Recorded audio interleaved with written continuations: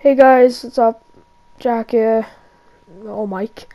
Now, um, today I've got some pretty sad news. Uh, you know, Kai, he's basically, um, just, he's not doing Joan Van Art Season 2 with me because we've been arguing a lot and it's just things have not been working out. Now, still subscribe to him, like, he's still a good channel, and me, because, like, come on. Like, uh, this is not a hate video, by the way, if you're watching this. This is, like, I'm just saying. So, and thank you for all the work you've done and all the help, but still, like, just not, we're just not friends, okay?